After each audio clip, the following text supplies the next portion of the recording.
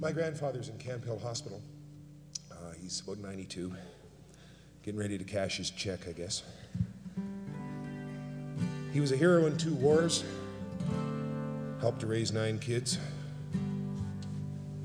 I'm uh, very proud of him. I was named after him. I think I had him in mind when I wrote this song. It's called Sailor's Rest.